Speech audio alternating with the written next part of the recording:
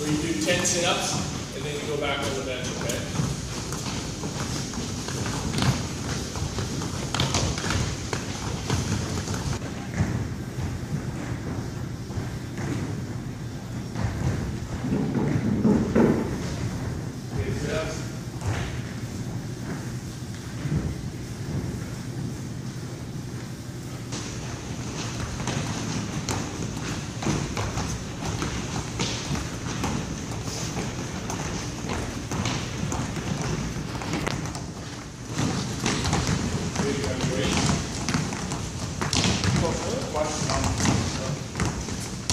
Know why, like, I, I see some like pro do but like sometimes like in a fight, like they'll use straps, they'll go right punches and it's like,